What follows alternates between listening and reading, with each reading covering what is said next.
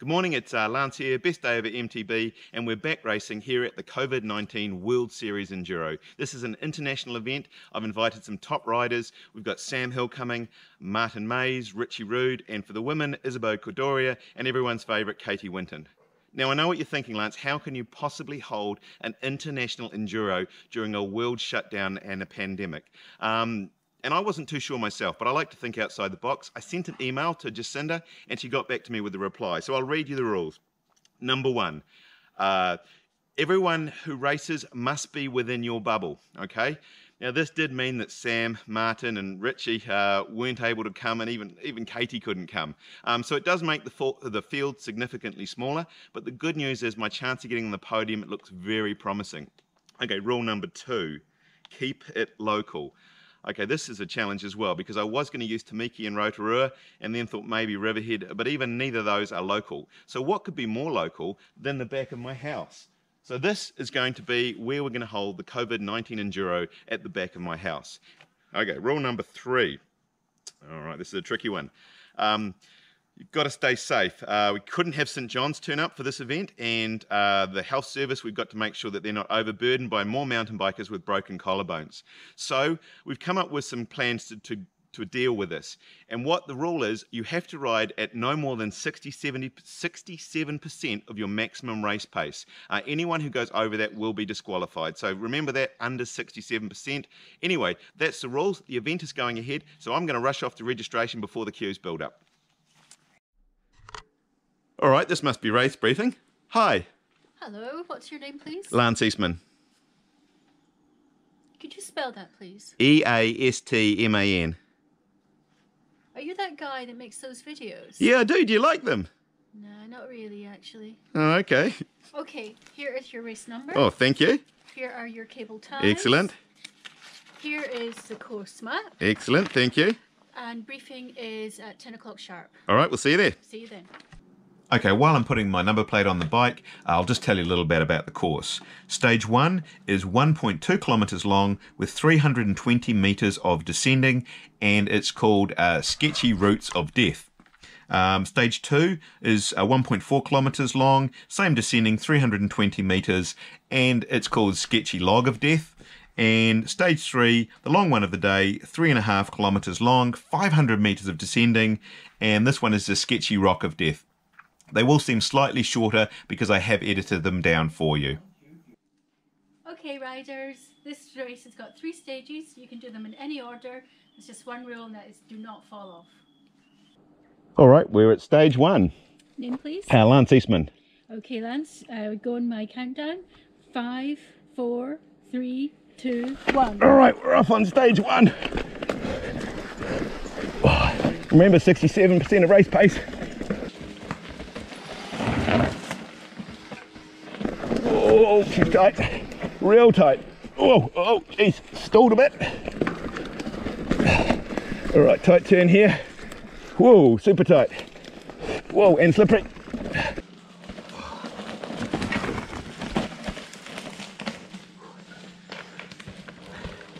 Oh, shit.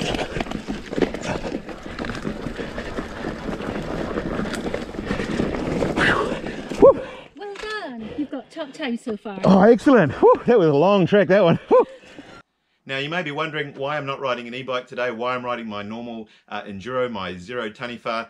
Well, a couple of reasons. One, due to the reduced field, there was no e-bike class. And secondly, it was my one opportunity to get on the podium in a normal Enduro on a normal style Enduro bike. So I've taken my chance and yeah, I'm going to ride the Taniwha today. Four, three, two, one, go. Ooh, not a very good start.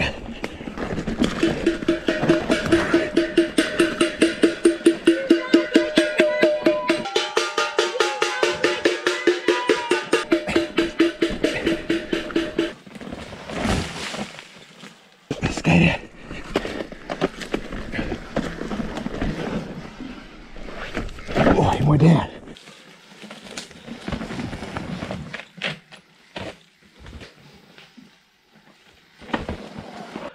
All right, how, do, how am I doing so far? Well, it's close, but you're doing really well. Oh, I'm so excited. Yeah. Stage three to go, Queen stage. Awesome job.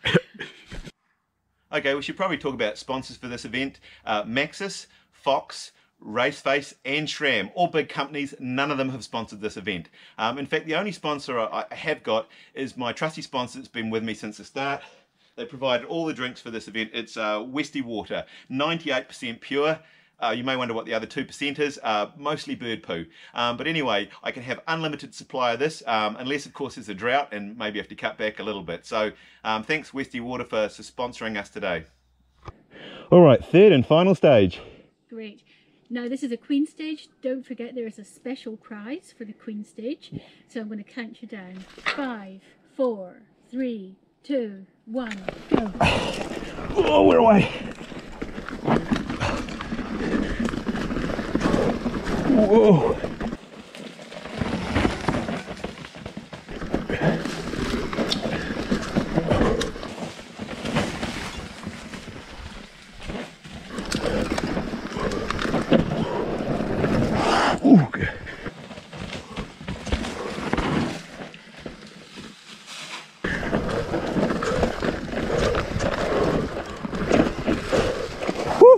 How'd I do? How'd I do? You need to wait till prize giving. Ah, oh, damn. Now, if you're a follower of my videos, you'll know my wife is quite the athlete and has a big collection of trophies and medals. And so when she found out that there was a fairly small women's field and there was a good chance she could get on the podium, she decided to enter and take part. She did have to walk some of the course, um, but I think she did really well. There were certainly some really nice trophies for the uh, COVID Enduro World Series, uh, the usual spot prizes, and even a very special prize for the winner of the Queen Stage. A year ago, I thought completing an EWS race was a major achievement for me, and here I am winning a world uh, enduro event. Um, even took out the Queen stage. I'm absolutely thrilled. My wife even took out the women's field despite having to walk some of the course. Well, that was the COVID 19 Enduro. Pretty happy to come away with a win on that one. Um, I hope you liked the video. Um, not trying to make light of the situation we're all in. Must admit, I have had a fair few sleepless nights wondering if my life savings have all gone down the toilet. But anyway, you've got to have a bit of light-hearted relief. If you like the video, um, click on the old logo here to subscribe, do the old like, thumbs up, you know, maybe even leave a comment and let me know what other videos you'd like to see um, while we're all in lockdown. But anyway, look forward to seeing you back on the trails one day and uh, take care of yourself.